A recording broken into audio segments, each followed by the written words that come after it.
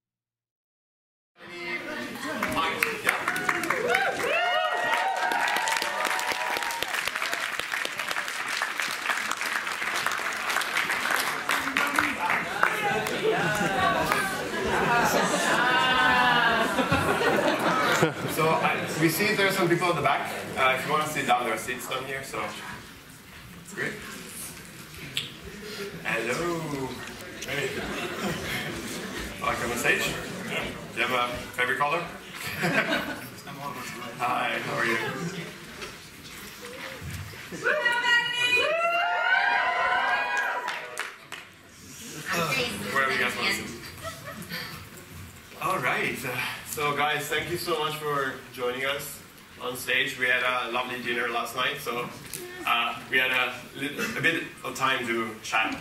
Um, so, I think if we have the timer start start starting now, we can talk about for 20, 25 minutes, and then we can open up for questions. I know you have many questions to ask. Do you? Do you? Yeah. Okay. Good. so, um, I'm gonna start with. Um, introductions. I'm going to introduce each one of you guys. The first one is Melanie Murphy. So she has um, 178,000 subscribers, and uh, she's an Irish YouTuber who has attracted over 14 million views in her first year online, which is quite impressive.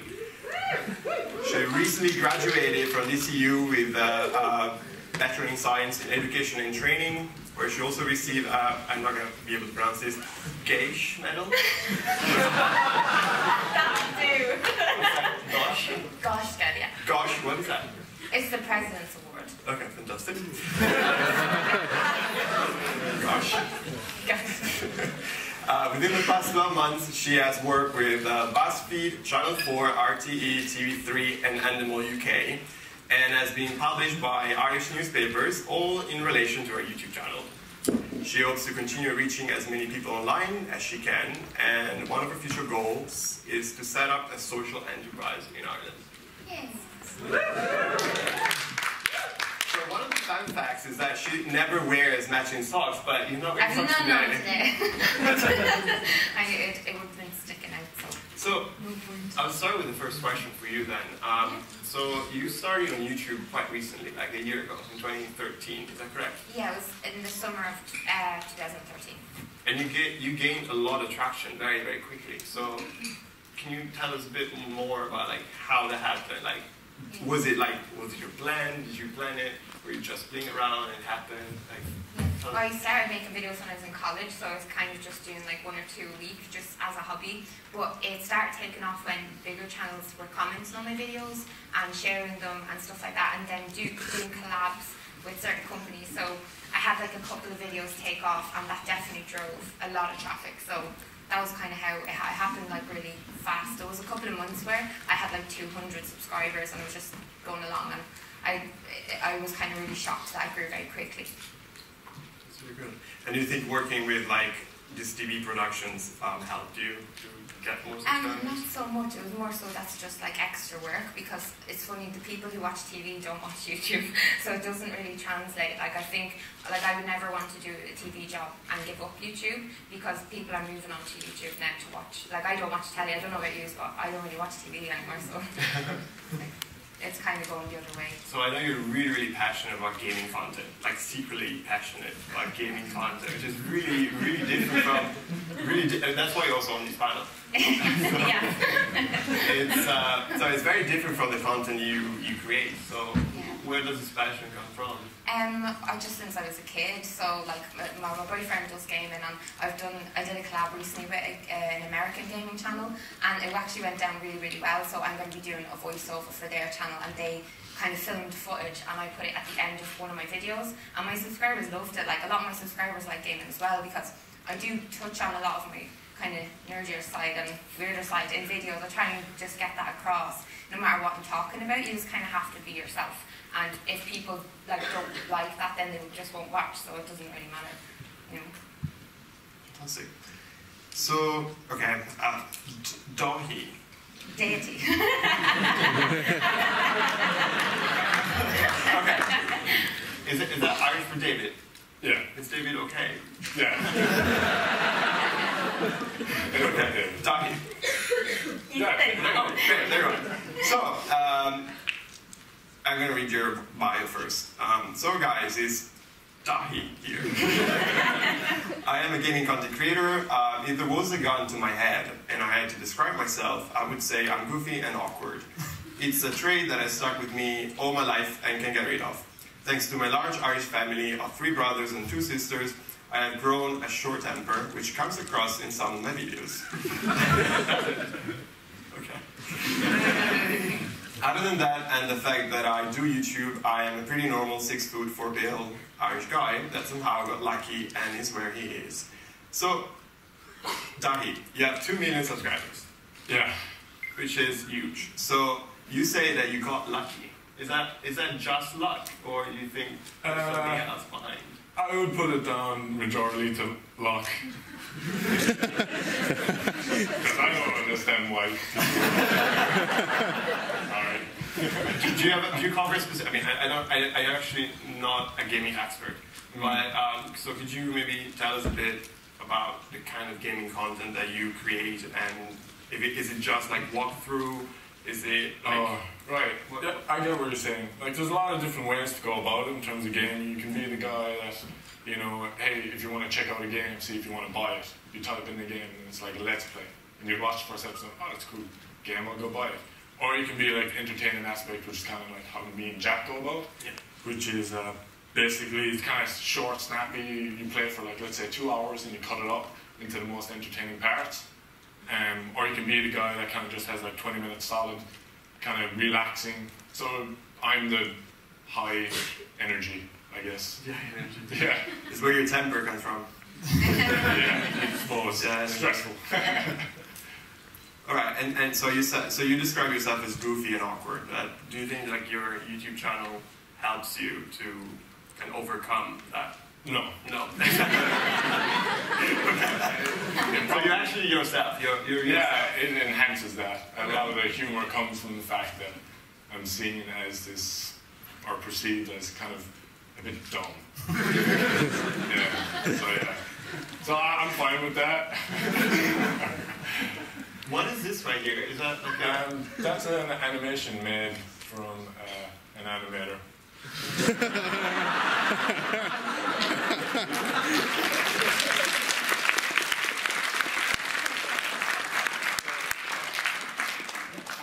I paid him. cool? Okay. and finally, we have uh, Sean, um, also known as Jacksepticeye.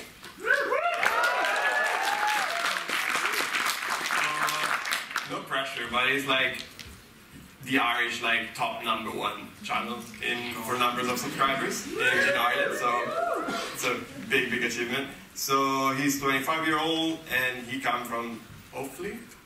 Originally, Oh, originally, yeah.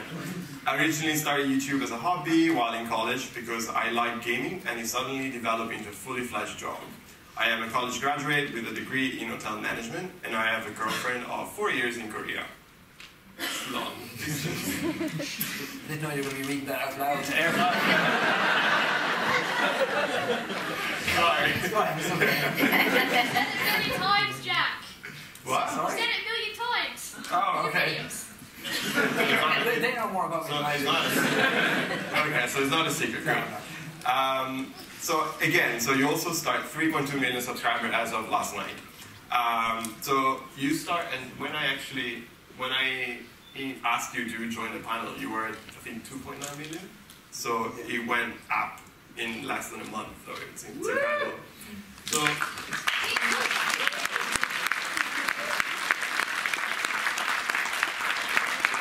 So you said you also started as an hobby.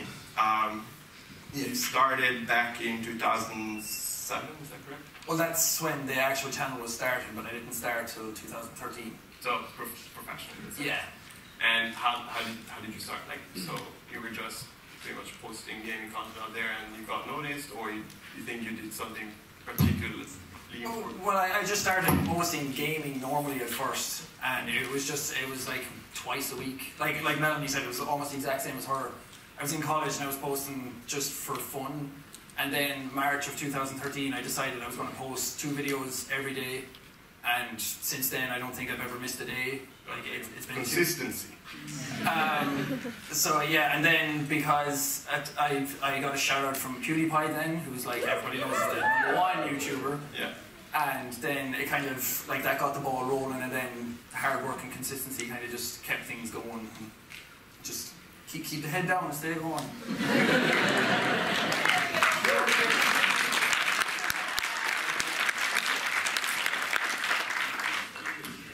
So, quick question for the for the gamers. So, just a few years ago, like online gaming was very niche. So, very few people were kind of engaging with the content. Now it's like super popular. It's the most popular content out there on YouTube. Yeah. Um, why did you think that changed? Um, is it just about the games? Is it more about you guys being more entertaining? Like, how do what do you think changed? I I think it's when you go like certain routes on YouTube. Like some people either have like entertaining videos where they don't show their face. It's like a high production kind of thing, like the Fine Brothers kind of stuff. And then you have the other people who are like the vloggers, who it's all about the person and the topics they're talking about. And then gamers, it's kind of like branching across two different things. So you have you have games that people are interested in, and then they kind of stay for the person. So they kind of come for the game, stay for the person. And you have a, a mix a mix and match of two different things. So it kind of elevates it above certain other things. Agreed. Um, in terms of gaming, I think for gaming people, they're very social. That's why, um, contrary to the typical belief, uh, they're very social. That's why a lot of people want to see online, and they want to see like cool things on YouTube as well, or um, like uh, like one thing that's kind of a, I feel about my channel. And in terms, there was Call of Duty. I'm sure some people know. But basically, my friends and I would play that and we'd do things that no one else has ever seen before in terms of just like doing interesting things, and that brought people in because like it's shareable because it's different. So uh, uh, in terms of like gaming, it's that's where I see the benefit. in. I don't know if I'm staying on topic or not. But, uh, there we go. But yeah, I, I think it's just people are a lot more social in gaming.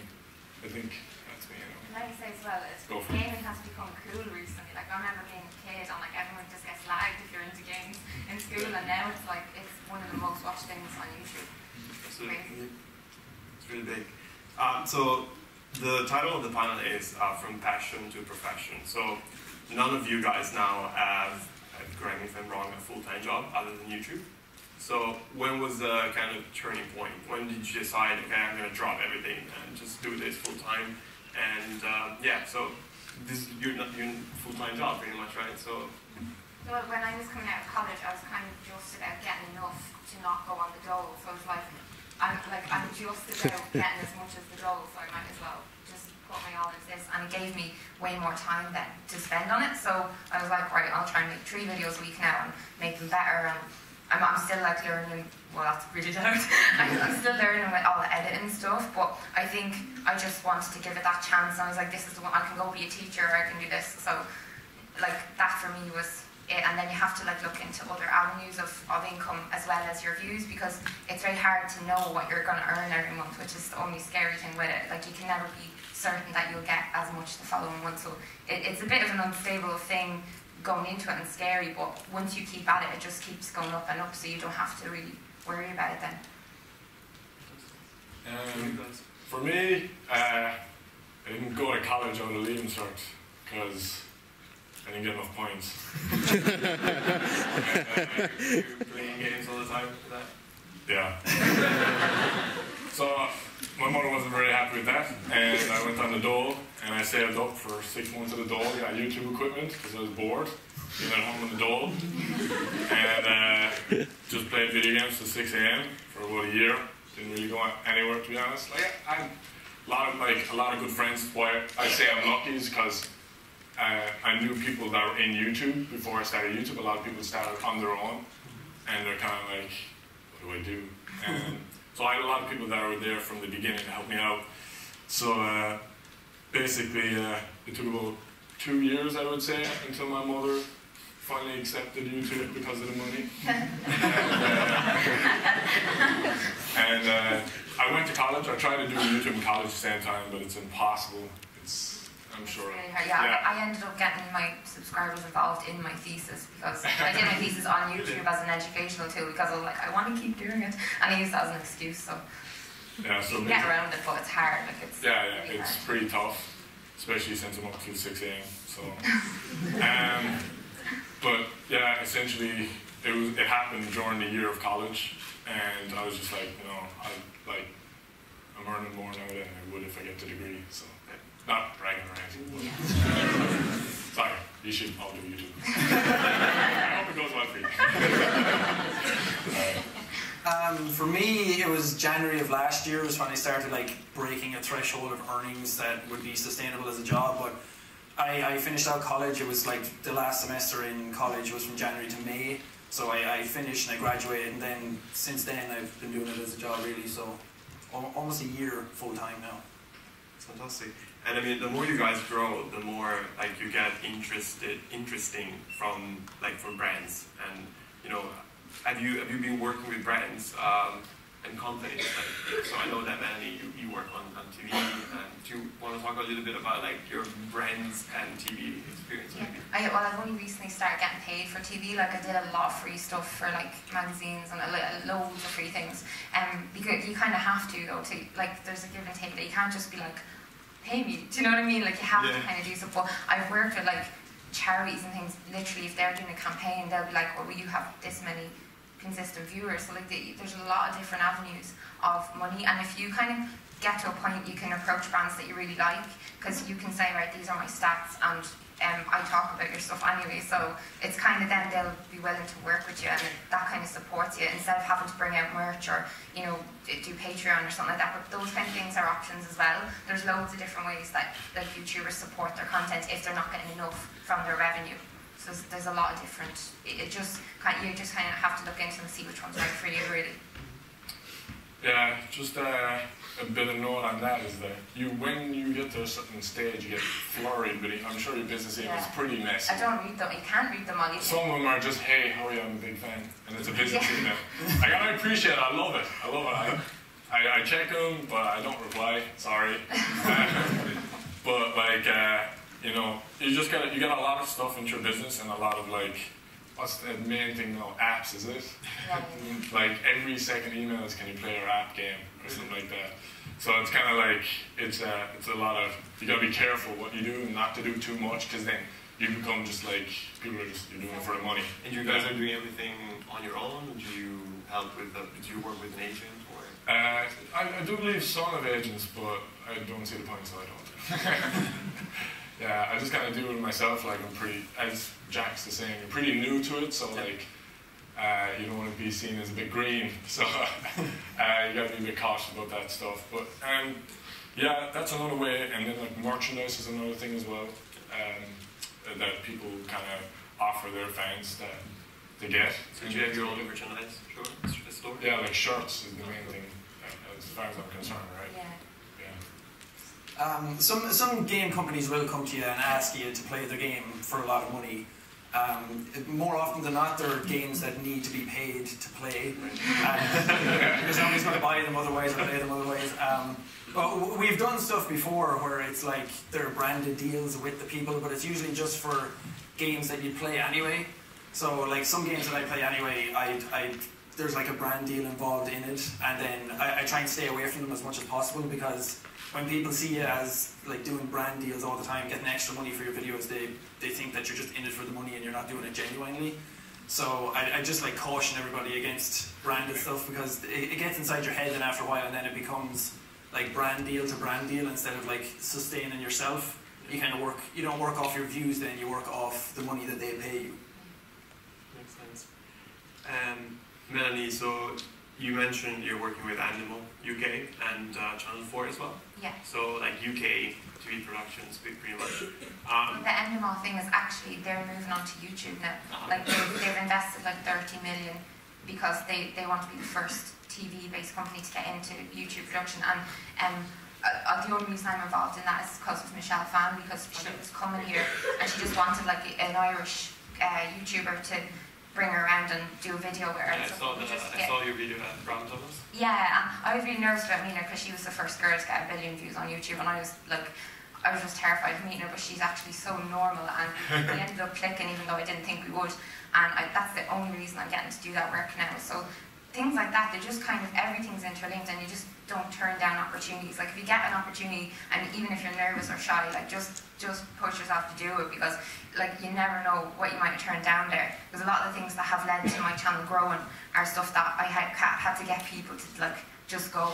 Do you know what I mean? Like people have to like encourage me to, to just do it. You know, like Nike said.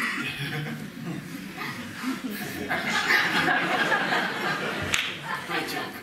High quality.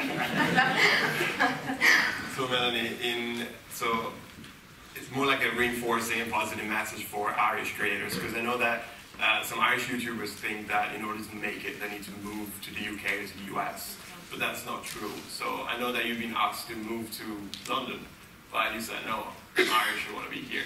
So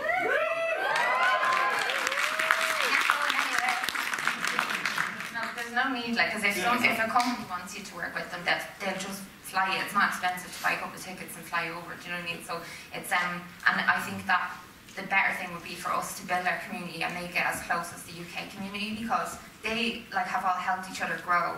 Do you know what I mean? And I think that like I've, the people I've met through this this like group on Facebook, like none of us are have anything in common, but except YouTube. But that's like like these. but we have so much fun anyway. So that's that's my main focus anyway for like for this year.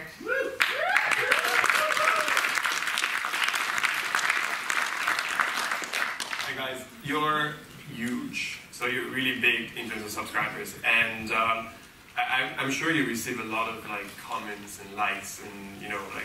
So you, you do a great job by reading people's comment, and I think they're super happy about it, and you get a lot of views. Um, the more you grow as a channel, um, does it actually get really difficult to stay in touch with all of your subscribers? And what are your strategies to be, stay in touch with them? Um, well, for me, the, the main thing is just answering comments every day. Like, when I wake up in the morning, it's always answering comments as soon as I wake up, and then before I go to bed, it's answering comments. So it's like four hours a day spent just talking to people. Like, and then you have Twitter on top of that, and you have Tumblr, Facebook, all those different types of things. So just like talking to people and letting them know that you know they exist. Um, so many people share lots of stories about like difficult times they're going through, and like just being there, being a voice that they can listen to, and responding to them. Just even saying hi to them is enough for them to feel happy because a lot of people when they start off on YouTube, I think every YouTuber starts off answering all their comments, and then after a while, if they get to a certain size, they kind of just stop because they feel like they can't answer to everybody, so they answer to nobody Mm. which is like I, I do the opposite thing. I, I still can't answer everybody. It's impossible. Nobody has enough time in the day to do it. But it, that doesn't mean I shouldn't answer anybody at all. Right. Like there's still a lot of people out there who want to talk to you, and being on YouTube is a really good avenue for meeting people and like contacting them directly. And they give you direct feedback as well, so it's kind of like a two-way street. And you, you develop respect then, you develop loyalty with your subscribers, and they're not just numbers sitting on a screen or money in your pocket or anything like that. Mine's is not going to be as good as Jack's. Um, I'm the guy that stopped replying to comments. Alright. But, but, you know, I reply to them here and there. Uh, I used to do a lot more, of course, but Jack's making me reply to them more. Thanks, Jack. Welcome. Do Well, people no. ever give out to you if, say, if they see you replying to someone and they're like, oh, why did you ignore my one? Do you ever get that? If- No. if- if-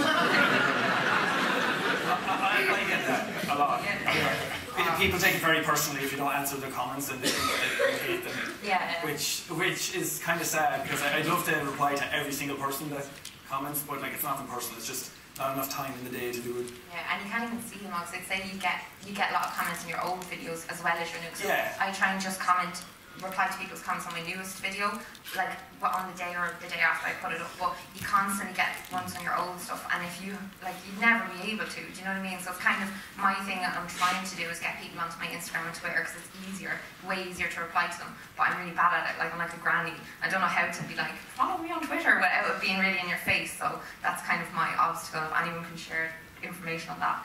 I Yeah, uh, I, I think it was that I, I was looking at the comments one time and like within a week, I think there was 200,000 comments within like just seven day period.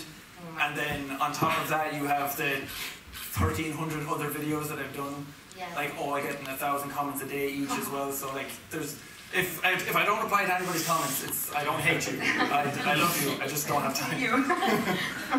oh god.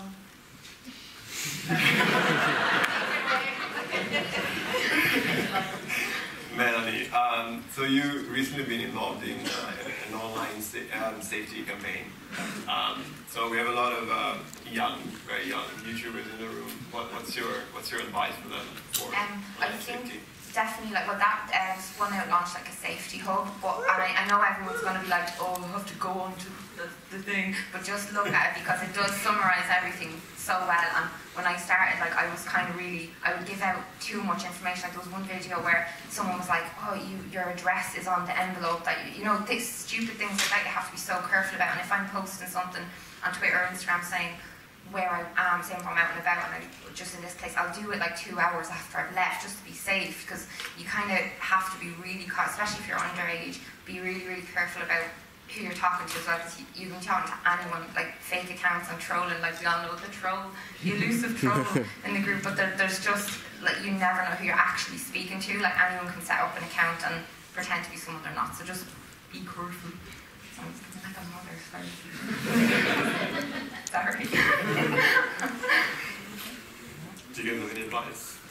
Um, yeah, uh, the same thing as well. Like a lot of people know like my real name and like my real email address and my my home address and everything at this stage, which I have never ever told anybody.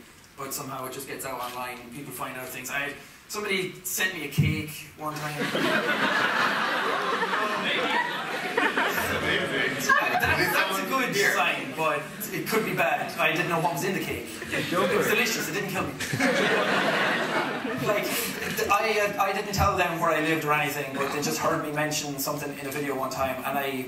I, I, I vlogged walking down the street one time for two seconds and it was like a building in the background and they knew where it was and they sent me a cake because of that.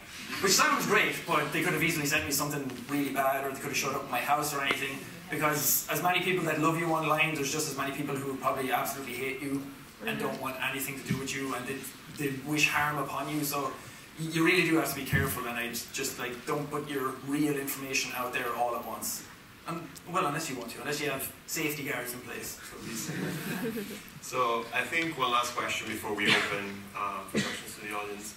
So so when I go back home, um, back in Italy, you know, my mom she makes a lot of pasta, but also she asks me, uh, so what do you do at YouTube? Uh, what's your job? Because when, when my friends ask me, I never know, you know, how to explain it to them. And she still doesn't know what I do at YouTube.